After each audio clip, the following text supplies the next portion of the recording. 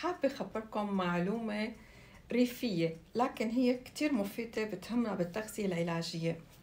قديما وقت اللي كانوا يحبوا يدوروا على منابع المياه يعني بدهم يحفروا بير. مو مثل هلأ في عنا دراسات بتقلنا إنه هون في مي هون في مجرى.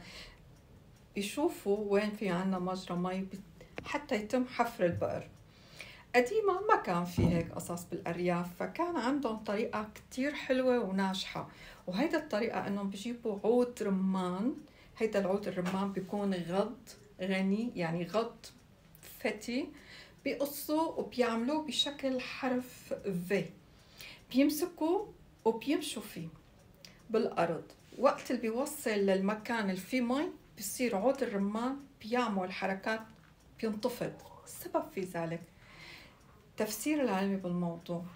غصن الرمان غني بالشوارد المعدنية وهيدي الشوارد المعدنية لما تلتقى مع الشوارد المنحلة بالمي بصير في عنا حقول مغناطيسية.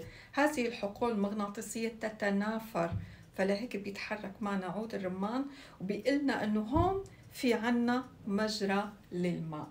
صدقا هذه الطريقة كانت قديما كتير معمول بها بالأرياف ونحن منا فتحنا بئر ما شاء الله نبع نبع كان بهذه الطريقة. نحن شو بنستفاد منها بالتغذية العلاجية؟ حتى تعرفوا إنه الرمان شجرة الرمان بشكل عام مخزن للمعادن مخزن للفيتامينات. الرمان الشجرة الأوراق ثمرة الرمان بذور الرمان وقشر الرمان.